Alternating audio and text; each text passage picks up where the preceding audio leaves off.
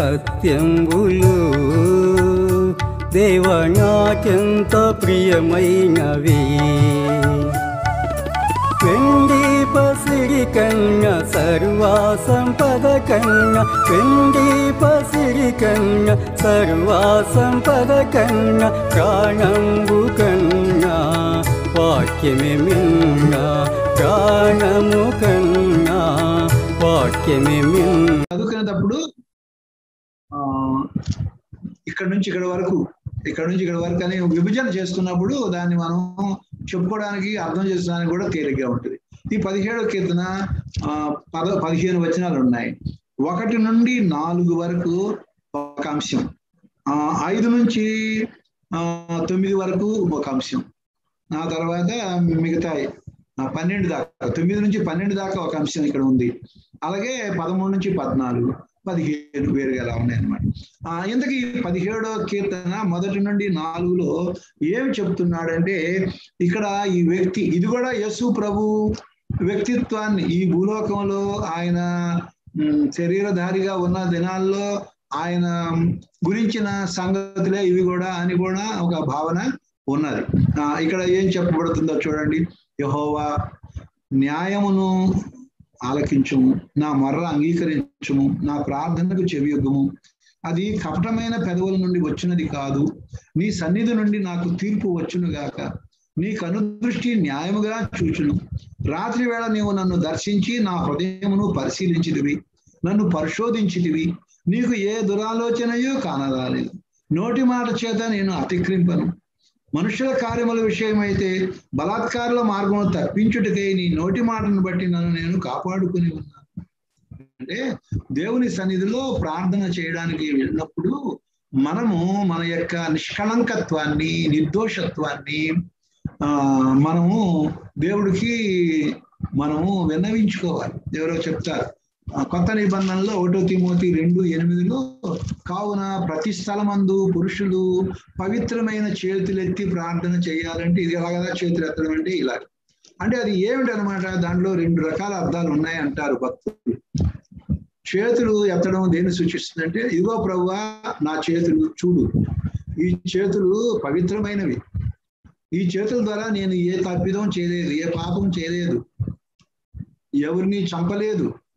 ఎవరి రక్తాన్ని నేను ఉలికించలేదు. నా చేతులు నిర్దోషమైన ఈ ప్రభువ.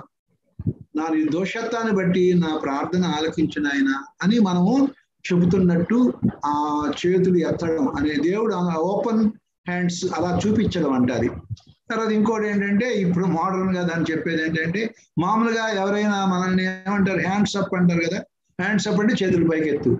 అంటే నువ్వు నాకు నన్ను ప్రతిఘటించడానికి నువ్వేమీ ప్రయత్నం చేయొద్దు. హ్యాండ్స్ అప్ అంటారు కదా. అంటే అదేంటనమాట మన నిస్సహాయతను తెలియజేయడం. చేతులు పైకెత్తడం ఏం చెప్తుందంటే ఒకటేమో మన నిర్దోషత్వాన్ని ఇంకోటేమో మన నిస్సహాయతను వ్యక్తం చేసేది అని ఆ చెప్తారన్నమాట. కాబట్టి అది అది ఉద్దేశం. కాబట్టి ఇక్కడ భక్తుడు కూడా ఏమంటున్నాడు? నా ప్రార్థన ఆలకించు ప్రభువా. న్యాయము తీర్చే దేవుడు నా మరణ అంగీకరించు నాకు తీర్పు తీర్చు. నాలో తప్పేమనుంటే నువ్వే నాకు శిక్ష విధించు. నువ్వు న్యాయంగా నీకు అందృష్టి చూస్తుంది అని అంటాడు. నన్ను పరిశోధించిదివి. ఏ దురాలోచన కానరాలేదు నాలో నా ఆలోచనలో ఏమీ దుర దుష్టత్వం లేదు. తర్వాత నోటి మాట చేత నేను అతిక్రమింపను. చూసారా? ప్రార్థన మన ప్రార్థన జవాబు పొందేదిగా ఉండాలంటే కనుక ఇలాగా మన జీవితాన్ని ఉంచుకోవాలి చాలాసార్లు మనము నోరు జారడము ఏదేదో రెక్లెస్గా మన మాటలు మన చేష్టలు ఉన్నప్పుడు మన ప్రార్థనకి అవి ఆటంకంగా పరిణమిస్తాయి అన్నమాట. ఆటంకంగా ఉండే మన ప్రార్థనకి జవాబు రాని పరిస్థితి ఏర్పడుతుంది. కాబట్టి అందువలన మనము ఆ, మన జీవితాన్ని పరిశుద్ధంగా ఉంచుకోవాల్సిన అవసరం ఉందన్నమాట.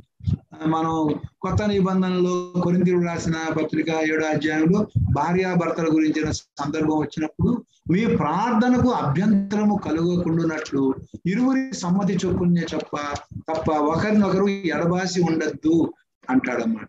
అంటే ఇరువురు ఇరువురు ఎడబాసి ఉన్నప్పుడు వీరు మరి నిగ్రహ శక్తి లేకుండా వేరే వేరే రీతిగా ఆలోచనల్లో తప్పిపోవడం జరుగుతుంది కదా. అది తప్పిపోయినప్పుడు ప్రార్థనకి ఆటంకం అవుతుంది కదా. కాబట్టి మన ఆలోచనలు మన తలంపులు మన యొక్క చేష్టలు ఇవన్నీ కూడా దేవుడి దృష్టికి అంగీకారయుక్తంగా ఉంచుకోవాలి అన్నమాట. నోటి మాట చేత అధికారం మనుషుల కార్యం విషయమైతే బలత్కారం తప్పించబడి నీ నోటి మాటను బట్టి నన్ను నేను కాపాడు. నీ మార్గంలో ఎందు నా నడకలను స్థిరపరుచుకుని ఉన్నాను అంట నాకు కాలు జారలేదు. ఇక్కడ ఏంటంటే ఆ మొదటిసారి తన ప్రార్థన దేవుడికి తన జీవితాన్ని ఎలా ఉందో చెప్పుకుంటున్నాడు. రెండవదిగా ఆయన ఏం చెప్పుకుంటున్నాడంటే ఆరో వచనం నుండి ఐదో వచనం నుండి నేను నీకు మొరపెట్టుకునిచున్నాను దేవా నాకు నీవు నాకు ఉత్తరం ఇచ్చేదు. నాకు చెవియొగ్గి నా మాట ఆలకించు. నీ శరణజొచ్చిన వారిని వారి మీదికి లేచు వారి చేతిలో నుండి నీ కుడి చేత రక్షించువాడా.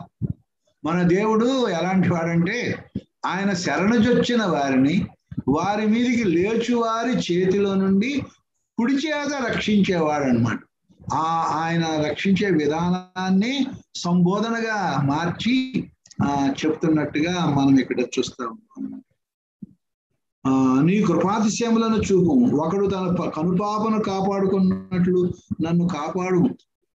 కనుపాపని కంటి రెప్ప ఎలాగా కాపాడుతుందో అలాగా నన్ను కాపాడు ప్రభువా అని చెప్పు. నన్ను లయపరచుకోరు దుష్టులను పోగొట్టి కాపాడు. అంటే ఇది దావీదు రాసిన కీర్తనే. ఆ దావీదు కూడా బోల్డ్ మంది శత్రువులు ఉన్నారు. ఆ శత్రువుల చేతిలో నుండి తన్ను కాపాడమని ఆయన ఎలా కోరుకుంటున్నాడు అని కూడా మనం చెప్పుకోవచ్చు. అయితే అదే సమయంలో ఆ యేసు ప్రభు కూడా దీన్ని మనము వర్తింప చేయొచ్చు అన్నమాట నన్ను లయపరచుకోరు దుష్టు నుండి పోగొట్టి కాపాడు. నన్ను చుట్టుకుని నా ప్రాణ శత్రువుల చేత చిక్కకుండాను. నీ రెక్కల నీడ కింద నన్ను దాచుము. కాబట్టి నా శత్రువులు ఎందరో ఉన్నారు. వాళ్ళ చేతుల్లో నుంచి కాపాడు. పదవ వచనం. వారు తమ హృదయమును కఠినపరుచుకొని ఉన్నారు. వారి నోరు గర్వముగా మాట్లాడు ఎవరు? ఈ శత్రువులు. మా అడుగు జాడలను గుర్తుపట్టి వారి వారిప్పుడు మమ్మల్ని చుట్టుకొని ఉన్నారు. మమ్మను నేలను కూల్చుటకు గురిచూచుచున్నారు వారు చీల్చుటకు ఆతురపడు సింహం వలెను చాటైన స్థలముల్లో పొంచు కొదమ సింహం వలన ఉన్నారు. అంటే ఈ పదిహేడో అధ్యాయం ఒకటి నుంచి నాలుగు వచనాల వరకు ఈయన తన సంగతి చెప్పుకుంటున్నాడు. ఆ తర్వాత నుంచి తన సంగతితో పాటు తన తనని ముట్టడించాలనే ప్రయత్నం చేసే శత్రువుల యొక్క కాఠిన్యాన్ని గురించి వాళ్ళ గర్వాన్ని గురించి వాళ్ళ క్రూరత్వాన్ని గురించి కూడా ఇక్కడ ఆ చెప్తుంటున్నారు అన్నమాట చాటైన స్థలముల్లో కొంచెం కుదుమ సింహం వలె ఉన్నారు. మరి ఇలాంటి పరిస్థితిలో నేను ఉన్నాను కాబట్టి ఆ ఏమని ప్రార్థిస్తున్నాడు యహోవా? లెమ్ము. వారిని ఎదుర్కొని వారిని పడగొట్టుము. దుష్టుని చేతిలో నుండి నీ ఖడ్గం చేత నన్ను రక్షించుము అని ప్రార్థిస్తున్నాడు. తర్వాత పద్నాలుగవ వచనంలో లోకుల చేతిలో నుండి ఈ జీవిత కాలంలోనే తమ పాలు పొందిన ఈ లోకుల చేతిలో నుండి నీ హస్తబలము చేత నన్ను రక్షింపము. లోకులు అంటే చెప్పాను కదా వరల్డ్ పీపుల్. ఎప్పుడు ఈ లోక సంబంధమైన విషయాల గురించి ఆ, కలిస్తే అక్కడ స్థలాలు చవకగా వస్తున్నాయంట. ఇల్లు కట్టుకున్నారు అంతా అయిపోయింది. ఇంకా ఎక్కడో స్థలాలు పొలాలు గురించి మాట్లాడుతుంటారు బంగారం రేటు తగ్గింది తెలుసా? అంటుంటారు. అంటే ఇంకా బంగారం కొనాలని కాసిన డబ్బులుండే బంగారం కొనాలని ఇలాంటి ఆలోచనలు తప్ప అంటే ఈ లోక సంబంధమైన లాభార్జన ధ్యేయంగా వాళ్ళ యొక్క ఆలోచన విధానము ఉంటది అనమాట ఈ లోక సంబంధులు అంటే ఈ లోకం గురించి వాళ్ళు ఎక్కువ ఆలోచిస్తారన్నమాట. గురించి దేవుని సంతోష పెట్టడం గురించి దేవుని రాజ్యం గురించి దేవుని రాజ్య వ్యాప్తి గురించి దేవుని సంఘం గురించి సమాజం గురించి దేవుని సేవ గురించి ఆలోచన చేస్తుంటారు అది. వాళ్ళు అలాగ ఆలోచన చేస్తున్నారు. నీ హస్తబలం చేసిన నా నీవు నీ దానములతో వారి కడుగు నింపుచున్నావు. వారు కుమారులు కలిగి తృప్తి నొందుదురు. తమ ఆస్తిని తమ పిల్లలకు విడిచిపెట్టుదురు. ఆ ఆస్తిని పిల్లలకు విడిచిపెడుతున్నారు వాళ్ళు. అంటే వాళ్ళ కోసము వాళ్ళ పిల్లల కోసము వాళ్ళు ఇలాగ పోగు చేస్తున్నారు అనే అర్థంలో ఇక్కడ చెప్తున్నారు. అంటే తండ్రి పిల్లలకి ఆస్తి పోగు చేయొద్దా? అంతవరకు ఎంతవరకు దానికి కూడా ఒక ఏంటో ఉంటుంది. అంటే మామూలుగా అక్కడ ఒక స్పిరిచువల్ థాట్ ఏంటంటే నీవు దేవుణ్ణి నమ్ముకున్నావు దేవుడు నీకేం తక్కువ చేయలేదుగా? నీ పిల్లలు కూడా దేవుడు తక్కువ చేయడు. వాళ్ళ కోసం నువ్వు పో పోగేయడం ఎందుకు? అని అర్థం అన్నమాట. కాబట్టి వాళ్ళని దేవుని భయంలో భక్తిలో పెంచినప్పుడు వాళ్ళు నా కొరకు జీవిస్తున్నప్పుడు ఆటోమేటిక్గా నేను వాళ్ళని పోషిస్తాను వాళ్ళ అవసరాలు తీరుస్తాను. అని. అందుకనే నేను చిన్నవాడనై ఉంటుంది ఇప్పుడు పెద్దవాడనై ఉన్నాను. ఆయన నీతిమంతులు విడవబడ్డు గాని వారి సంతానం భిక్షమెత్తుడు గాని నేను చూచి ఉండలేదు అన్నాడు. మనం దేవుడి కొరకు యథార్థంగా జీవించి ఆ చనిపోతే మన పిల్లల గురించి దేవుడు చూసుకుంటారు. అరే వీళ్ళ నాన్న ఇంత భక్తిగా జీవించాడు. ఈ పిల్లలు ఇలా అయిపోయారు అడుగు తింటున్నారేంటి? అని మీరు ఎవరి గురించి అయినా విన్నారా అట్టాగా? ఎవరైనా ఒక యథార్థంగా దేవుని సేవ చేసి దేవుని కొరకు పరిశుద్ధంగా జీవించి చచ్చిపోయారు అక్కడ ఆయన. వాళ్ళ పిల్లలు ఉన్నారు. వాళ్ళ పిల్లలు అనాథలుగా ఉండడం కానీ మరి దయనీయమైన స్థితిలో ఉండడం కానీ ఎక్కడన్నా మీరు చూసారా దావీది దావీది కనపడలేదు. చిన్నప్పటి నుండి ఆయన ముసలోడయ్యే వరకు ఎందరినో చూశారు. ఎవరు అలాగా వారు భిక్షమెత్తుకున్నాడు ఆయన చూడలేదు. ముప్పై ఏడో ఆ కీర్తన ఇరవై ఐదో వచ్చిన చూడండి. అలాంటి స్థితిలో వాళ్ళని దేవుడు ఉంచడు. చూడండి ముప్పై ఏడు ఇరవై ఐదు. నేను చిన్నవాడనై ఉంటిని ఇప్పుడు ముసలివాడనై ఉన్నాను. ఆయనను నీతిమంతులు విడుబడ్డు కానీ వారి సంతానం భిక్షమెత్తుడు కానీ నేను చూచి ఉండలేదు. అయితే మనం ఏం చేయాలి? మన పిల్లలను కూడా మన వంటి భక్తి పరులుగా వాళ్ళని తీర్చి తీర్చిదిద్దాలి. మన వంటి భక్తి పరులుగా దేవుణ్ణి హత్తుకొని జీవించేవారుగా చెడుతనం చేయకుండా దేవుని భయభక్తుల్లో పెరిగే వాళ్ళుగా మనం వాళ్ళని తీర్చిదిద్దినప్పుడు ఇక క్వశ్చన్ లేదు. వాళ్ళు ఆ, వాళ్ళు పేదవాళ్ళు అయిపోవడము తిండికి వాటికి ఇబ్బంది పడడం అనేది ఉండదు. తర్వాత సామెతల గ్రంథం కూడా చూడండి. సామెతల గ్రంథం కూడా. ఇరవై అధ్యాయం అనుకుంటా.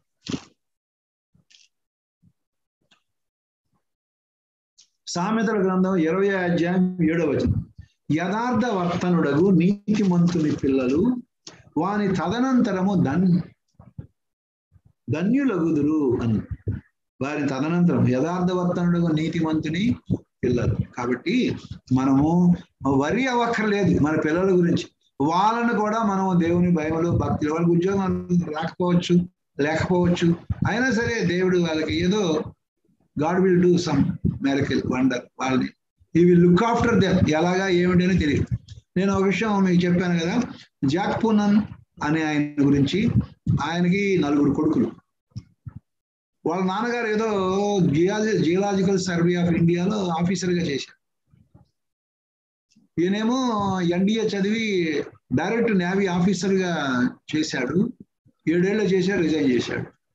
భార్యని పెళ్ళి ఆమె భార్య కూడా డాక్టర్ మెడికల్ డాక్టర్. ఆమె కూడా రిజైన్ చేయించాడు. ఇద్దరు సేవకు వచ్చేసారు. ఒక గదిలోనే ఉండేవారట సేవ ప్రారంభంలో మరి అలాంటి పరిస్థితుల్లో ఉన్నారు వాళ్ళ నాన్న నుంచి ఉండేవాడట Jack you have resign and your wife also resign. పిల్లలు పుడుతున్నారు నీకు ఆ పిల్లలకి ఈ రోజుల్లో పోషించడం వాళ్ళని చదివించడానికి చాలా డబ్బులు ఖర్చు అవుతాయి నువ్వు ఎట్లా చదివిస్తావు ఏమిటో అని అంటుండు. చాలా డబ్బులు ఖర్చు అవుతాయి అని అన్నాడంట అంటూ ఉండేవాడంట. అలాగే చనిపోయాడు వాళ్ళ పెద్ద కొడుకు మన క్రికెట్ ప్లేయర్ రాహుల్ ద్రావిడ్ ఉన్నాడే. రాహుల్ ద్రావిడేనా? వాళ్ళ పెద్ద కొడుకు వాళ్ళిద్దరు క్లాస్మేట్స్ బెంగళూరులో ఏదో స్కూల్ చాలా తెలివితేటలు కలవాడు దేవుని భయంలో ఆ బిడ్డలందరినీ పెంచారు. హార్వర్డ్ యూనివర్సిటీకి అప్లై చేస్తే వాళ్ళకి అడిగిన ఫీజు ఈయన కట్టలేను అన్నాడు. My father is working as pastor I can pay if you can provide scholarship I will join అన్నాను అతనికి వచ్చిన మార్కులను బట్టి yes we can provide scholarship అని పిలిచారు. అక్కడ వచ్చి అక్కడ చదివాడు. నలుగురు కొడుకులు స్కాలర్షిప్లతోనే చదివారు. వీళ్ళ నాన్నకు తెలియదు ఆ సంగతి. ఈ పిల్లలు పెరిగి పెద్ద అయ్యేలోపు ఆయన చచ్చిపోయాడు. మీ పిల్లల్ని ఎలా చదివిస్తావు? అని చెప్పి అంటా ఉండేవాడంట. మరి వాళ్ళు మా అందరూ అమెరికాలోనే సెటిల్ అయ్యి మరి అట్లా ఉన్నారు. వాళ్ళ కుటుంబ నియంత్రణ పాటించరు వాళ్ళు. కుటుంబ నియంత్రణ పాటించారు. వాళ్ళు వాళ్ళకి నలుగురు పిల్లలకి నలభై మంది పిల్లలు ఉన్నారు. నలభై మంది లేదు కానీ ఇరవై ముప్పై మంది అన్న పిల్లలు ఉంటారు. ఒక్కొక్కరికి నలుగురు తక్కువ లేకుండా. ఎందుకు వాళ్ళు అలాగ చేస్తారంటే వాళ్ళు డిఫరెంట్గా అన్నమాట వాళ్ళ తాలూకా ఆలోచన విధానం. ఈ లోకం దుష్టలోకం అయిపోయింది. మరి అందరూ మరి చెడిపోతున్న లోకంలో మనం ఉన్నాం కాబట్టి మనం ఒకరిద్దరిని కలిగి చనిపోతే మరి రాబోయే ప్రపంచానికి సువార్త ఎవరు చెప్తారు? దేవుని భయంలో భక్తిలో పెంచబడిన కుటుంబంలో నుంచి వచ్చిన వాళ్ళే కదా రాబోయే తరానికి సేవకులు కా ఉండగలుగుతారు. కాబట్టి అందుకని మనము ఎక్కువ మంది పిల్లలు కానీ వాళ్ళని దేవుని భయంలో భక్తిలో బాగా తరబీదు చేసి రాబోయే లోకానికి వాళ్ళు సువార్థికులుగా వాళ్ళు దేవుని సేవకులుగా వాళ్ళు దేవుని కొరకు ఒక మంచి సాక్షులుగా ఉండేటట్టుగా మనం తీర్చిదిద్దాలి అనే దృక్పథంతో వాళ్ళు అలాగా ఆ, కుటుంబ నియంత్రణ పాటించేవాడు. ఆయనే చూడండి నలుగురు అప్పట్లో ఉండేదిగా ఈ కుటుంబ నియంత్రణ. మరి అలాగనమాట. ఆ, ఇంతగా ఇంతగా చెప్పొచ్చిన విషయం ఏంటంటే ఆ అది అదనమాట ఇక్కడ. వాళ్ళు తమ ఆస్తిని తమ పిల్లలకు విడిచిపెట్టుదురు. అంటే మీరు ఒకవేళ మీరు విడిచిపెడితే ఓకే కానీ అదే పనిగా నేను ఆస్తి నా పిల్లలకి ఏం విడిచిపెట్టకుండా చచ్చిపోయాని అని వర్రీ అవ్వక్కర్లేదు. మీకు వచ్చిన సంపద దానికోసం ఒక్కొక్కరు లంచాలు తీసుకొని మోసాలు చేసి అన్యాయాలు చేసి మీరు సంపాదించిపోయారనుకోండి. ఇక్కడ ఒక ఆయన ఉండేవాడు ఎండిఓ మరి ఆయన అన్నిట్లో లెట్రిన్లో కూడా డబ్బులు తీసుకున్నారంట లెట్రిన్ కట్టించమని అంటారు కదా వాటిలో కూడా ఏదైనా డబ్బులు తీసుకొని చచ్చిపోయాడు. పెద్ద బిల్డింగ్ కట్టించాడు. మరి అది ఏదో ఇచ్చిపోయానని తృప్తి. ఆయన నరకానికి వెళ్ళి ఉంటాడు మరి వీళ్ళు మరి కూడా ఏమవుతారో తెలియదు అంటే అంతగా లంచగొండితనంగా ఆయన ప్రవర్తించారు. కాబట్టి అలాగా మనము ఆ, పిల్లల కోసం భార్యకి నగలు చేయాలనే ఉద్దేశం కోసం ఇలాగ అక్రమార్జన చేయడం అనేది చేస్తారు. అది అది కరెక్ట్ కాదు అని. అలాగని పిల్లలకి ఆస్తి కూర్చకూడదా అంటే అలాగనే నేను సేవ్ చేయలేదు డబ్బులు చాలా కాలం. భారతపురంలో ఉండండి. మేడం గారు పద్మావతి మేడం గారు చెప్పారు. ఆమె ఏదో కొంచెం దాచిపెట్టుకుంటే మంచిదయ్యా ఏదైనా ఎమర్జెన్సీ అంటే అప్పుడు కూడా నేను కన్విన్స్ అవ్వలేదు. నేను రోజు బైబిల్ చదువుకుంటున్నప్పుడు ఒక వాక్యం ద్వారా దేవుడు మాట్లాడాడు. అప్పటి నుంచి కొంచెం మొదలు పెట్టాను కొరింతుడు రాసిన రెండో పత్రిక కొరింతుడు రాసిన రెండో పత్రిక పదమూడో అధ్యాయం.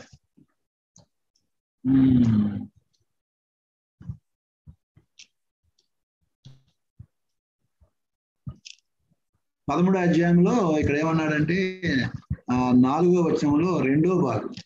ఆ రెండో భాగం. పిల్లలు తల్లిదండ్రుల కొరకు కాదు తల్లిదండ్రులే పిల్లల కొరకు ఆస్తి కూర్చదగినది కదా అని తల్లిదండ్రులు పిల్లలు తల్లిదండ్రుల కొరకు కాదు. తల్లిదండ్రులే పిల్లల కొరకు ఆస్తి కూర్చదగినది కదా అని ఉంది ఇక్కడ వాక్యం. ఈ వాక్యం ద్వారా కొంత నేను ప్రోత్సహించబడ్డాను. ప్రోత్సహించి అప్పటి నుంచి కొంచెం మొదలు పెట్టాను అనమాట అలాగలాగా దేవుడు వాటిని ఆస్వాదించాడు. స్థలాలు కొనడం ఇల్లు కట్టడం ఇవన్నీ జరిగింది అనమాట కాబట్టి ఆ ఇలాగ అప్పట్లో పాత నిబంధనలో భక్తి గల వాళ్ళు బాగా దేవుని కొరకు భక్తి కలిగి వాళ్ళు దాటిపోయినప్పటికీ వాళ్ళ పిల్లలు ఏమీ బెంగపడక్కర్లేదు. దేవుడు వాళ్ళ అవసరాలు తీరుస్తాడని ఉద్దేశం అన్నమాట. ఆ పదిహేను వచ్చిన ఏమంట నేనైతే నీతి గలవాడనై నీ ముఖ దర్శనము చేసేదను. నేను మేలుకొనప్పుడు నీ స్వరూప దర్శనముతో నా ఆశను తీర్చుకుందును అంటుంది. నేనైతే నేను నీ సన్నిధికి వచ్చేస్తున్నాను. ఆ నేను మేల్కొన్నప్పుడు నీ స్వరూప దర్శనంతో నీ ఆశను ఆశను తీర్చుకోవాలని ఈయనకున్న నిరీక్షణ పరలోక రాజ్యం గురించి ఆ నిరీక్షణ గురించి ఇక్కడ దావీదు చెప్తున్నాడని మనం అనుకోవాలి ఇక ఈ పద్దెనిమిదో కీర్తన యాభై వచనాలు ఉన్న కీర్తన ఆ దీన్ని కూడా చెప్పేద్దాం ఈరోజు.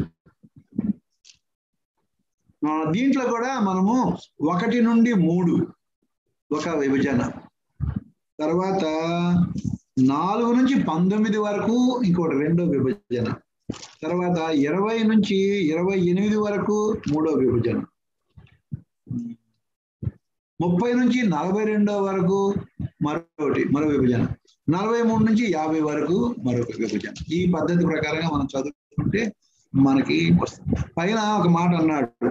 యహోవా దాసులైన దావీదు కీర్తన అతని శత్రువులందరి చేతిలో నుండి సౌలు చేతిలో నుండి యహోవా అతని తప్పించిన దినమున దావీదు ఈ గీతవాక్యమును చెప్పి యహోవాను స్తోత్రించి అతడు ఇట్లనను అంటే దావీదుకున్న శత్రువులు సౌలు అప్షలోము ఇంకా ఎవరెవరైతే ఉన్న అందరి నుంచి దేవుడు ఈయనకి విజయం ఇచ్చేసారు మనకి ఫైనల్. వాళ్ళ శత్రువులు నుంచి చేతిలో నుంచి దావీదుని విడిపించాడు. ఆ సమయంలో ఈ కీర్తన రాశారు. ఈ కీర్తనలో మొదటి మూడు వచనాల్లో దేవుణ్ణి ఈయన కొనియాడుతున్నాడు. ఆయన దేవుణ్ణి కొనియాడిన విధం. యహోవా నా బలమా నేను నిన్ను ప్రేమించుచున్నాను. యహోవా నా శైలము నా కోట నన్ను రక్షించువాడు. నా కేడము నా రక్షణ సంఘము నా ఉన్నత దుర్గము నా దేవుడు. నేను ఆశ్రయించిన నా అంటే చూసారా ఎవరైనా ఒక తల్లి తన ఆ, చేసే బిడ్డను ఎన్ని విధాలుగా ఆ, మరి పలకరించుకుంటుందో అట్లాగే ఈ భక్తుడు కూడా తన దేవుడు యొక్క దేవుని బిడ్డగా దేవుణ్ణి దేవుడు తను ఎలా రక్షించాడు ఎలా కాపాడాడని దేవుని పలు విధాలుగా ఆయన నోరారా కొనియాడుతున్నాడు అన్నమాట ఆయన నా బలం నా శైలము అంటే నా కొండ నా కోట నన్ను రక్షించేవాడు. నా కేడం అంటే డాలు నా రక్షణ శృంగము ఆ నా ఉన్నత దుర్ శృంగం అంటే కొమ్ము అని అనుకోండి నా నన్ను రక్షించే ఒక సాధనం లాంటి వాడు. నా ఉన్నత దుర్గము ఏదైనా ఆపద వచ్చేప్పుడు నేను ఆ కోటలో పోయి దాక్కు దుర్గం అంటే కూడా కోటే కదా దాక్కుంటాడు. నా దేవుడు నేను ఆశ్రయించున్న నా దుర్గం నేను ఆయన్నే ఆశ్రయిస్తా ఉంటాను. ఇన్ని రకాలుగా దేవుడిని ఎన్ని ఉన్నాయి చూడండి? ఒకటి రెండు మూడు నాలుగు ఐదు ఆరు ఏడు ఎనిమిది తొమ్మిది. తొమ్మిది రకాలుగా ఆయన దేవుణ్ణి స్తుతిస్తున్నాడు కనియాడుతున్నాడు. మూడవ వచనంలో కూడా కీర్తనీయుడైన యహోవాకు నేను మరపెట్టగా మన దేవుడు ఎలాంటి వాడు? కీర్తనీయుడు. అంటే కీర్తించదగిన వాడు ఆయన నా శత్రువుల చేతిలో నుండి నన్ను రక్షించును. అది ఇన్ని విధాలుగా దేవుడిని ఆయన కీర్తించాడు గణపరిచాడు. ఇక నాలుగో నాలుగవ వచనం నుండి ఈయన ఏ స్థితిలో ఉండి దేవుడికి ప్రార్థించాడు? ఆ ప్రార్థనకి దేవుడు ఎట్లా జవాబు ఇచ్చాడు ఏ ఏ విధాలుగా జవాబిచ్చాడు? అనేది భలే వింతగా ఆయన విశదీకరణ ఉంటుంది. చూడండి. నాలుగు నుంచి పంతొమ్మిది వచ్చిన వరకు. మరణ పాశములు నన్ను చుట్టుగనగను. భక్తిహీనులు వరద పొరులు వలె నా మీద పడి బెదిరింపగను. పాతాళపు ఉరులు పాతాళపు పాశములను అరికట్టగను. మరణపు ఉరులు నన్ను ఆవరించగను. నా శ్రమలో నేను యహోవాకు మొరపెట్టి తిని నా దేవునికి ప్రార్థన చేసి తిని ఎలాంటి పరిస్థితుల మధ్య ఈయన ప్రార్థన చేశాడు? ఇన్ని పరిస్థితులు గుండా ఈనాడు మనం వెళుతున్నామా? ఎన్నెన్ని రకాలు చెప్తున్నాడు మరణ పాశములు. బంధ పాశం అంటే తాళ్ళు బంధాలు. ఆ భక్తిహీనులు వరదలాగా ఆయన మీదకి వచ్చారు. పాతాళపు పాశాలను చుట్టుకున్నాయి. మరణపు ఉరులు ఉన్నాయి. ఇలాంటి శ్రమలో నేను యహోవాకు మొరపెట్టి నా దేవునికి ప్రార్థన చేసింది ఆ అప్పుడు ఏం చేశాడు దేవుడు? ఆయన తన ఆలయంలో ఆలకించి నా ప్రార్థన అంగీకరించాడు. నా ప్రార్థన ఆయన ఓకే చేశాడు. నాకు ఇష్టమే నువ్వు శుద్ధుడు కమ్ము అని కృష్ణోగుత అన్నట్టుగా ఇదిగో దావీలు చేసిన ప్రార్థనని దేవుడు అంగీకరించాడట. నా మొర్ర ఆయన సన్నిధిని చేరి ఆయన చెవుల్లోకి వెళ్ళింది. ఇవన్నీ ఆయన విపుల దాన్ని వర్ణిస్తున్నాడు అన్నమాట. ఈయన ప్రార్థన దేవుడికి ఎలా వినపడింది అనేది ఈయన ఇక్కడ వర్ణిస్తున్నా. నా మొర్ర ఆయన సన్నిధిని చేరి ఆయన చెవులలో చొచ్చను. అప్పుడు భూమి కంపించి అదిరేను. నా ప్రార్థన ఎప్పుడైతే ఆయన చెవుల్లోకి వెళ్ళిపోయిందో వెంటనే భూమికి భూకంపం మొదలైంది అనమాట పర్వతములో పునాదులు వణికాను. ఆయన కోపింపగా అవి కోపించాను నా భక్తుడిని ఇంతగా చుట్టుముట్ట ఈ శోధనలు శత్రువులు అని బహుశా దేవుడు కోపించాడేమో. ఆయన నాసికారంధ్రములో నుండి పొగ పుట్టాను. అంటే కోపంతో ఉన్నప్పుడు ఆ నిట్టూర్పులు అంటే ఉచ్ఛ్వాస నిశ్వాసలు కొంచెం వేడిగా వస్తాయి కదా అదనమాట ఆయన నాసికారంలో పొగ పుట్టాను. ఆయన నోట నుండి అగ్ని వచ్చి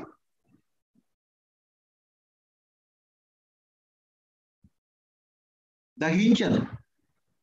నిప్పు కణములు రాజబెట్టను మేఘములను వంచి ఆయన వచ్చను. ఆయన మరి నా ప్రార్థన వినబడగానే మరి ఆయన ఎక్కడో పరలోకంలో ఉంటాడు కదా. ఆయన మేఘాలు వంచి ఆయన వచ్చాడు. ఆ ఆయన పాదముల కింద గాఢాంధకారము కమ్మి ఉండేను ఆయన పాదాల కింద గాఢాంధకారం ఉంది. ఆ చెరువు మీద ఎక్కి ఆయన ఎగిరి వచ్చాను. మేఘములను వంచి వచ్చాడంటాడు. కెరువు మీద ఎక్కి ఆయన ఎగిరి వచ్చాడు. కెరువులు ఎవరు వీళ్ళు? ఆ ఆయన చుట్టూ ఉంటారు కదా. వాళ్ళు కెరువులు అన్నమాట.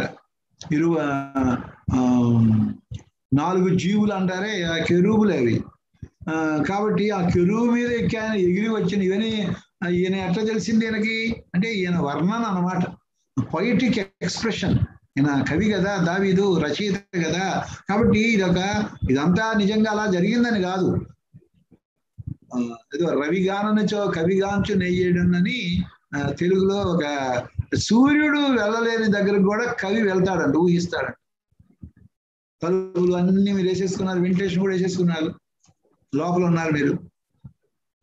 సూర్యుడు సూర్యకిరణాలు కూడా రావు కానీ కవి మీరు లోపల నుండి ఏం చేస్తున్నాడో ఊహిస్తాడంట. అది రవిగాననిచో కవిగాంచునయ్యాడని అలాగే ఇప్పుడు ఈయన కవి దావీది. ఈయన పొయిటిక్గా ఎక్స్ప్రెస్ చేస్తున్నాడు. ఏమని ఎక్స్ప్రెస్ చేస్తున్నాడు? చెరువు మీద ఎక్కాను ఎగిరి వచ్చెను గాలి రెక్కల మీద ప్రత్యక్షమాయను గుడారం వలె అంధకారము తన చుట్టూ వ్యాపింపచేసెను జలాంధకారమును ఆకాశ మేఘములను తనకు మాటుగా చేసుకొనెను. ఆయన సన్నిధి కాంతిలో నుండి మేఘములను వడగండ్లను మండుచున్న నిప్పులను దాటిపోయెను అంటున్నాడు. యహోవా ఆకాశమందు గర్జన చేసెను. సర్వోన్నతుడు తన ఉరుముదని పుట్టించెను. వడగండ్లను మండుచున్న నిప్పులను రాలెను. ఇది ఆ ప్రభు వస్తున్నప్పుడు. దావీదుని రక్షించడానికి ఆ ప్రభు వస్తున్నప్పుడు ఇలాంటి సంభవాలు జరిగాయి అని చెప్తున్నాడు అన్నమాట ఆ పద్నాలుగో ఆయన తన బాణమును ప్రయోగించి శత్రువులను చెదరగొట్టాను అంటున్నాడు. తన బాణమును ప్రయోగించి ఆయన శత్రువులను చెదరగొట్టాడు అంటున్నాడు. మెరుపులు మెండుగా మెరిపించి వారిని ఓడగొట్టెను ఆ, మామూలుగా ఆ, ఉరుములు మెరుపులు మెరవడం జరుగుతుంది కదా. ఆ నా ప్రార్థన విని దేవుడు ఈ విధంగా నన్ను రక్షించడానికి వస్తున్నాడు అని ఈయన దాన్ని అలాగా వర్ణిస్తున్నాడు అన్నమాట మెరుపులు మెండుగా మెరిపించి వారిని ఓడగొట్టాను యహోవా నీ నాసికారంధ్రముల ఊపిరిని నీవు వడిగా విడవగా నీ గద్దింపునకు ప్రవాహముల అడుగు భాగములు కనబడను. భూమి పునాదులు బయలుపడను అంటే దేవుడు ఆయన కోపముతో ఆ ఆయన ఊపిరిని విడువగా కో వడిగా శీఘ్రంగా విడుస్తుండగా ఆ ఆ ఊపిరికే ఈ యొక్క ప్రవాహంలో అడుగు భాగం కనిపిస్తుంది. అంటే ఆయన ఊపిరిలో అంత శక్తి ఉందా? ప్రకటన గ్రంథం వెళ్ళండి. అక్కడ ఈ శత్రువులందరూ చాలా మంది కోట్ల సంఖ్యలో వస్తే వాళ్ళని తన ఊపిరి చేత తన నోటి ఊపిరి చేత ఆయన వాళ్ళని చంపేశాడని ఉంది అక్కడ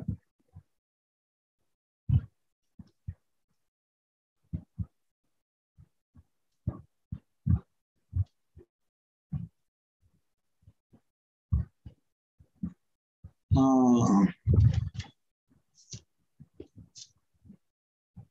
ఆ మాట ఎక్కడ ఉందో చూడండి ప్రకటన గ్రంథము పంతొమ్మిదో అధ్యాయం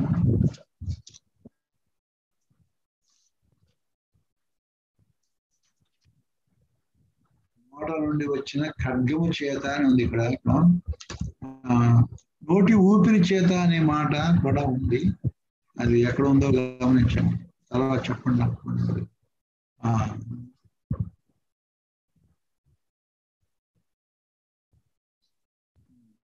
ఆ మాట కూడా ఎక్కడ ఉంది.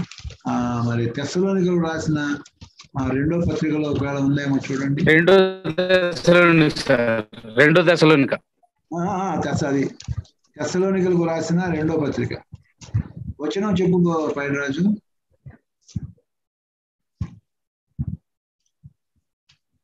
తెస్సలోనికలు రాసిన రెండో పత్రిక. మొదటి అధ్యాయమేనా?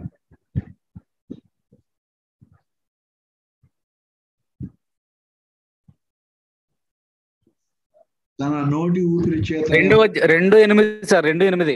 రెండు ఎనిమిదా ఓకే థ్యాంక్ యూ అప్పుడు ఆ ధర్మ విరోధి బయలుపరచబడను ప్రభు అయిన యేసు తన నోటి ఊపిరి చేత వారిని సంహరించి తన ఆగమన ప్రకాశము చేత నాశనము చేయను. ఆయన నోటి ఊపిరి. చూసారా? అలాగా ఇక్కడ అదే చెప్తున్నాడు దావీదు. నీవు నీ నాసికారంధముల ఇది నాసికారంధముల ఊపిరి. అదేమో నోటి ఊపిరి అంటున్నాడు. నీ నాసికారంధముల ఊపిని నీవు వడిగా విడవగా నీ గద్దింపులకు ప్రవాహముల అడుగు భాగములు కనపడదు. భూమి పునాదులు బయలుపడదు. ఉన్నత స్థలం నుండి చెయ్యి చాపి ఆయన నన్ను పట్టుకొనాను. నన్ను పట్టుకొని మహాజలరాశం నుండి తీశాను బలవంతులకు పగవారు నన్ను ద్వేషించువారు. నాకంటే బలిష్ఠులై ఉండగా వారి వశము నుండి ఆయన నన్ను రక్షించాను. ఆపత్కాలమందు వారు నా మీదికి రాగా యహోవా నన్ను ఆదుకొని విశాలమైన స్థలములకు ఆయన నన్ను తోడుకొని వచ్చాను. అంటే తన ప్రార్థన ఎలాగా దేవుడి చెవుల్లో ప్రవేశించిందో ప్రవేశించగానే ఆయన ఎలాగా కోపించాడు ఆయన ఎలాగా దిగి వచ్చాడు ఆయన దిగి వచ్చినప్పుడు ఈ భూలోకంలో ఎలాంటి ఎలాంటి పరిణామాలు చోటు చేసుకున్నాయో ఈ బలవంతులైన పగవారి చేతులను దేవుడు దాన్ని ఎలా కాపాడాడు వాటన్నిటి గురించిన వర్ణాలు అనమాట నాలుగో వచనం నుండి పంతొమ్మిదో వచ్చిన వారు ఇక ఇరవై వచనం నుండి దేవుడు తను ఇలాగా కాపాడడానికి ఈయన యొక్క ఆ జీవితం ఈయన నిర్దోషత్వం నిష్కళంకత్వం ఒక కారణం అన్నట్టుగా చెప్తున్నాడు అనమాట చూడండి ఇరవై వచనం నుండి నా నేను ఆయనకు ఇష్టం కనుక ఆయన తప్పించాను అన్నాడు. ఇరవై వచనం. నా నీతిని బట్టి యహోవా నాకు ప్రతిఫలం ఇచ్చాను. నేను దేవుడు ఏట నీతిగా జీవించాను. అందుకని ఆయన నాకు ప్రతిఫలం ఇచ్చాడు. నా నిర్దోషాన్ని బట్టి నా తోను బట్టి నాకు ప్రతిఫలం ఇచ్చాడు. యహోవా మార్గములను నేను అనుసరించుచున్నాను. నేను ఆయన మార్గం అనుసరించేవాడిని కాబట్టి నాకు ప్రతిఫలం ఇచ్చాడు. భక్తిహీనుడనై నేను నా దేవుని విడిచిన వాడిన కాను. నేను ఎప్పుడు కూడా నా దేవుని నేను విడిచిపెట్టి నేను నీతిగా నడుచుకుంటున్నాను ఆ తర్వాత నిర్దోషిగా ఉంటున్నాను ఆయన మార్గం అనుసరిస్తున్నాను ఆయన విడిచిపెట్టలేదు ఆయన న్యాయ విధులన్నిటినీ లక్ష్య పెట్టుతున్నాను ఆయన న్యాయ విధులు ఏవైతే అన్ని లక్ష్య పెడుతున్నాను ఆయన కట్టడలను త్రోసివేసిన వాడను కాను. దోషక్రియలు నేను చెయ్యనొల్లకుంటిని చెడ్డ పనులు నేను చేసేవాడిని కాదు. ఆయన దృష్టికి నేను యథార్థుడినైతిని.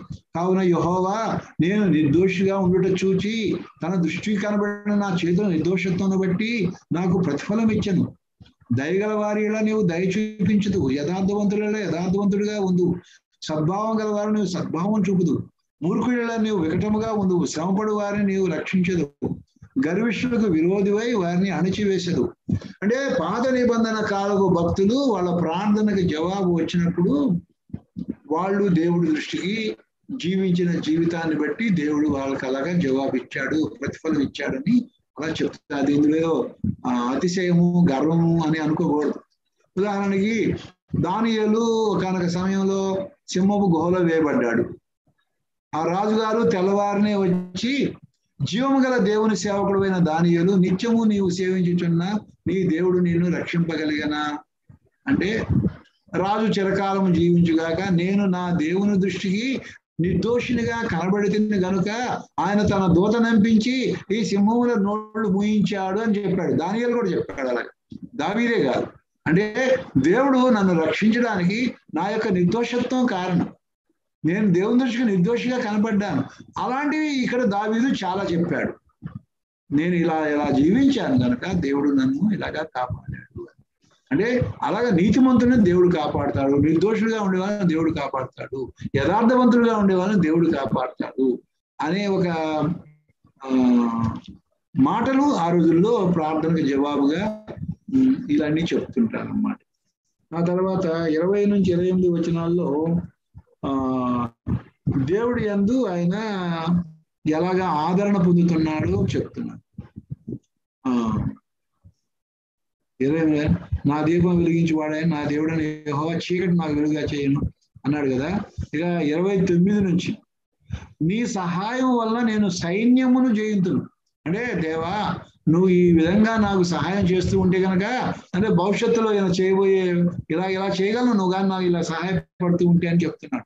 నీ సహాయం వల్ల నేను సైన్యమును జయింతును. నా దేవుని సహాయం వలన ప్రాకారము దాటుదును. దేవుడు యథార్థవంతుడు యహోవాకు నిర్మలము. తన శరణు వచ్చి వారికి అందరికీ ఆయన కేయడం యహోవా తప్ప దేవుడేడి? అంటే దేవుడు ఇట్లా ఆదుకుంటాడు ప్రార్థనకు జవాబిస్తాడు. ఆయన తప్ప ఇక దేవుడు ఎవరు? అలాంటి ఆయనే కదా దేవుడు. అందుకనే ఆయన నెబ్గద్నేజర్ కూడా ఇ- ఈ విధముగా రక్షించడానికి సమర్థుడైన దేవుడే దేవుడు. మిగతా వాళ్ళు దేవుడు కాదు. అన్నట్టుగా షట్టకు మిషకు సందర్భంలో కూడా చెప్పాడు కదా. నాకు బలము ధరింపజేయవాడు ఆయనే. నన్ను యథార్థ మార్గం నడిపించేవాడు ఆయనే. నా కాళ్ళు జింక కాలువలే ఆయన చేయుచున్నాడు. ఎత్తైన స్థలం మీద నన్ను నిలుపుచున్నాడు. నా చేతులకు యుద్ధము చేయ నేర్పువాడు ఆయనే. సరే చేతులకు యుద్ధం చేయడం దేవుడు నేర్పిస్తాడా? ఉమ్. పరీక్ష రాసేటప్పుడు కూడా మనకు ఒక్కోసారి ఆ ఎలా రాశాను నాకే ఆశ్చర్యంగా ఉంది. భలే రాశాను అని మనకే అనిపిస్తుంది. ఒక్కోసారి ఆశ్చర్యపోతాం. గుర్తొస్తాయి ఎప్పుడెప్పుడో గుర్తొస్తాయి. అదనమాట. నా చేతులకు ఆ సమయంలో ఆ చూసారా? మనం ఎంత ప్రవీణులమైన ఒకనొక విద్యలో ఆ సమయంలో దేవుడి అదృశ్య హస్తం మనకు తోడుగా ఉండాలి. బాగా పాటలు పాడగలిగిన వాళ్ళే మీరు. ఒక్కోసారి ఏమవుతుందో గొంతు జీరపోతుంది ఇంత బాగా పాడగలిగిన అమ్మాయి ఎందుకు ఇట్లా అయింది అంటే ఒక్కోసారి అట్లా అవుతుంది మనం బాగా ప్రసంగం చేయగలిగిన వాళ్ళమే కావచ్చు. ఒక్కోసారి ఫెయిల్ అయిపోతాం మనం. సిహెచ్ స్పర్జన్ అంటారు కదా సిహెచ్ స్పర్జన్ దొరగ. ఆయనకి బిరుదు ఏమిటంటే ప్రిన్స్ ఆఫ్ ప్రీచర్స్ అని బిరుదు. ప్రసంగాల రారాజు అని పేరు ఆయన. అంత గొప్ప ప్రసంగికుడు. అయితే ఒకసారి ఎక్కడో పెద్ద మీటింగ్ అరేంజ్ చేశారంట. అరేంజ్ చేస్తే ఆ మీటింగ్కి వచ్చాడంట కానీ ప్రసంగం ఏమి లేదు. ఎలా చెప్పాలో ఎలా మొదలు పెట్టాలో ఆయనకి అర్థం కాలేదంట. ఏమాత్రం నడిపింపలేదు గుర్రం మీద వచ్చాడంట ఆ రోజుల్లో. గుర్రాల మీద వెస్లీ గారు వీళ్ళందరూ సేవ చేసింది. మొన్న మొన్నటి దాకా మిషనరీలు మన దేశానికి వచ్చిన దాకా మా ఒంగోలు జిల్లాలో కూడా గుర్రాల మీద వచ్చేవాళ్ళు. వెనుకొండ నుంచి గుర్రం మీద మా ఊరికి వచ్చేవాడు పాస్టర్ ఆ చూసారా? అలాగా. వెనుకొండ అంటే గుర్రం జాషువ గారి ఊరు అనమాట మరి వాళ్ళ ఇంటికి ఆ పేరు అట్లా వచ్చిందేమో మరి. నాకు తెలియదు కాబట్టి ఎందుకు చెప్పొచ్చిన విషయం ఏంటంటే ఆ, మనము ఎంత నైపుణ్యం గలవాదమైనా మనం దేవుడి మీద ఆధారపడకుండా దేవుడి కృపను కోరుకోకుండా మనం నిలబడితే మనం చెప్పలేము. నేను ఒట్టివాడిని నేను నిష్ప్రయోజకుడైన దాసుడిని అని మనము దేవుని సన్నిధిలో తగ్గించుకోవాలి. అంతేగాని నేను ఇన్ని పుస్తకాలు చదివాను ఇంత ప్రిపేర్ అయ్యాను. ఇన్ని ప్రసంగాలు చేశాను నాకు ఇదేం పెద్ద లెక్క అనుకో. ఒక పెళ్ళి ప్రసంగమే నువ్వు సక్సెస్ కాకపోవచ్చు. అదొక మరొక ప్రసంగం కావచ్చు. దేవుడు వాడుకోవాలండి అంతే. అంతేగాని నువ్వు చెప్పాలనుకున్నంత మాత్రం నువ్వు చెప్పలేవు ఆ ఇంతకీ ఆ దొరగారు ఏం చేశాడంటే జనమందరూ అలా ఎదురు చూస్తున్నారు పాటలు ఆపేశారు. ప్రార్థన చేసి వెళ్ళిపోయాడు ఎవరితో మాట్లాడు ప్రార్థన చేసి ఎవరితో మాట్లాడడం దొరగారికి వెళ్ళిపోయాడు. ఆ ప్రార్థన ద్వారానే కొన్ని వందల మంది తీర్మానం చేసుకున్నారంట రక్షణ పొందారు. చూసారా? అట్లాగా ఉంటుంది ఒక్కోసారి. అదే ఇక్కడ ఇంతకు చెప్పొచ్చిన విషయం ఏంటంటే నా చేతులకు యుద్ధము చేయ నేర్పువాడు ఆయనే అంట. కాబట్టి ఇప్పుడు ఉందా ఆ ఇప్పుడు క్రీడాకారులు ఉంటారు. వాళ్ళు అది వరకు స్వర్ణాలు జయించిన వాళ్ళే. మరి ఇప్పుడేం తేలేకపోయారు? ఆ, అలా జరుగుతుంది ఒక్కోసారి. అలా జరుగుతుంది. వాళ్ళు ఎంతో పెద్ద ప్రవీణులు అయితే వెళ్ళొచ్చు. కానీ దేవుడు తోడుగా ఉండాలి. వాళ్ళ నాన్నగారు ఆ పివి సింధు నాన్నగారు ప్రార్థన చేయండి అనేవాడు దేవుడు దేవుడు అంటుండేవాడు మన ముఖ్యమంత్రి కూడా ఆయన తిరిగేటప్పుడు దేవుడు అంటుంటాడు. దేవుడు ప్రస్తావన ఈయన తెస్తాడు వాళ్ళ నాన్నగారు కూడా తెస్తాడు గాడ్ ఈజ్ గ్రేట్ ఇట్లాంటి మాటలన్నీ అంటుంటారు. కాబట్టి దేవుడి సహాయం లేనిదే మనము ఏమీ చేయలేము. అది దావీది కూడా ఒప్పుకుంటాడు జ- దావీదు గొప్ప యుద్ధ శూరుడు గొర్రెలు కాసుకునే టైంలో ఎరుగుబండి సింహాన్ని చంపాడు ఆయన. ముగించిపోతాడు ఆ, నా బాహురు ఇతర వీళ్ళని ఎక్కుపెట్టు నీ రక్షణ కేయడం నీవు నాకు అందించావు నీ కుడి చేయి నన్ను ఆదుకో నీ సాత్వికం నన్ను గొప్ప చేశాను. నా పాదములకు చోటు విశాలపరిచితివి. నా చీలమండలు వెనకలేదు. నా శత్రువులను తరిమి పట్టుకుందును. వారిని నశింపజేయ వరకు నేను తిరగను. వారు నా పాదముల కింద పడుతురు వారు లేపల లేక లేవలేకపోవునట్లు నేను వారిని అనగదొక్కుదును. అంటే దేవుడి సహాయం చేత తను ఏమేమి చేస్తాడో యుద్ధానికి నాకు బలం ధరింపు చేసేవాడివి నీవే నా మీదకి లేచిన వారిని అణచివేసినట్టు చేసేవాడివి నీవే. నా శత్రువులను వెనుకకు నువ్వు మళ్ళా చేసేదివి నన్ను ద్వేషించు వారిని నేను నిర్మూలన చేసేదని. వారు మొరపెట్టిరు కానీ వారిని రక్షించేవాడు వాళ్ళకి లేదు లేకపోతే యహోవాకు వారు మొరపెట్టుదురు కానీ ఆయన వారికి ఇతరం అయ్యకున్నాడు ఎందుకంటే వాళ్ళు ఆయన నమ్ముకున్న వాళ్ళు కాదు. అప్పుడు గాలికి ఎగురు ధూళి వలె నేను వారిని పొడిగా కొట్టేది గాలికి ఎగురు ధూళి వలె వారిని నేను ఆ, వారిని పొడిగా కొట్టాను అని చెప్పి అంటాడనమాట ఆ తర్వాత ఆయన ఈ యొక్క నలభై ఏడు మూడవ వచనం నుండి ఆ ఈయన ఇంకా మరికొంతగా దేవుని విషయంలో ప్రోత్సాహం తెచ్చుకుంటున్నాడు. ప్రజలు చేయు కలహంలో పడకుండా నీవు నన్ను విడిపించితివి. నన్ను అన్యజనులకు అధికారిగా చేసితివి. నేను ఎరుగని ప్రజలు నన్ను సేవించెదరు. నా మాట చెవిని పడగానే వారు నాకు విధేయులవుదురు. అన్నిలు నాకు లోబడినట్లు నటించుదురు. అన్నిలు నిస్త్రాణ గలవారై వణుకుతూ నన్ను తమ దుర్గములను విడిచివెచ్చెదరు యహోవా జీవము గలవాడు నా ఆశ్రయదుర్గమైన వాడు స్తోత్రార్హుడు. నా రక్షణకర్త అయిన దేవుడు బహుగా స్థుతి నందునుగాక. ఆయన నా నిమిత్తం ప్రతిదండన చేయు దేవుడు. జనములను నాకు లోపరచువాడు ఆయనే. ఆయన నా శత్రువు చేతులు నన్ను విడిపించును. నా మీదకి లేచువారి కంటే ఎత్తుగా నీవు నన్ను హెచ్చించదు బలాత్కారం చేయ మనుషుల చేతులను నువ్వు నన్ను విడిపించదు అందువలన యహోవా అన్యజనుల్లో నేను నిన్ను గనపరచదు నీ నామకీర్తన గానం చేసదు నీవు నియమించిన రాజునకు గొప్ప రక్షణ కలుగజేయవాడు.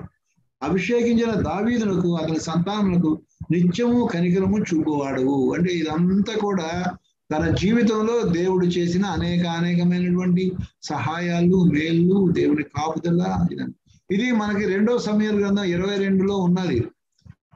అదే అదే ఇక్కడ ఎత్తి రాయబడింది అనమాట రెండవ సమయాలు గ్రంథము ఇరవై రెండో అధ్యాయంలో ఈ మాట ఈ కీర్తన అక్కడ రాయబడింది. అది అంటే మరొకసారి ఇది ఉంది అని చెప్పడానికి మీరు జ్ఞాపకం చేస్తున్నాను అనమాట రెండవ సమయాల గ్రంథము ఇరవై రెండో అధ్యాయంలో ఇదే మాటలు ఉన్నాయి కాకపోతే కొంచెం వర్డింగ్ అక్కడక్కడ తేడా ఉంటది. అది చదివి ఇది కూడా నేను చదివాను. వర్డింగ్లో చిన్న తేడా ఉందన్నమాట. ఇదే సేమ్ టు సేమ్ ఇక్కడ యాభై ఒక్క వచనాలు ఉన్నాయి. ఇక్కడేమో యాభై వచనాలే ఉన్నాయి. అలాగే. కాబట్టి అదే ఇక్కడ ఎత్తి వ్రాయబడింది అని చెప్తున్నాను. ప్రార్థన చేద్దాం. దగ్గర ప్రభా మీ ఘనమైన నామనకు స్తోత్రాలు వందనాలు చెల్లిస్తూ ఉన్నాము. ఈ సాయంకాలం వేళ కూడా బైబిల్ స్టడీలో పదహారవ కీర్తన ఐదవ వచనం నుండి మరి పదిహేడో కీర్తన పద్దెనిమిదో కీర్తన కూడా మేము చెప్పుకోవడానికి మీరు సహాయం చేశారు. మీ నామనకు స్తోత్రములు. చెప్పబడిన మాటలు ఆశ్రదించి విన్న హృదయాల్లో ఆ మాటలు ఫలించినట్లు మీరు అక్కడ కొరకు మీ రాజ్యం కొరకు మేము వెళ్ళబాటు ఎలవేళ్ళ సిద్ధపాటు కలిగి ఉండటం మమ్మల్ని జాయిన్ అయిన ప్రతి కుటుంబాన్ని ప్రతి బిడ్డను పేరు పేరున దీవించి వారికి వారి కుటుంబాలకి మీ ఆశీర్వాదం సమృద్ధిగా దయచేస్తుంది మా రక్షకుడు విమోచకుడైన మరి రేపటి పరిశుద్ధ దినం కొరకు కూడా ఆయతపరచమని యేసు క్రీస్తు శ్రేష్టమైన నామున ప్రార్థించి స్తుతించి కొనియాడి వేడుచున్నాము తండ్రి. జాయిన్ అయిన ప్రతి వందనాలు. దైవ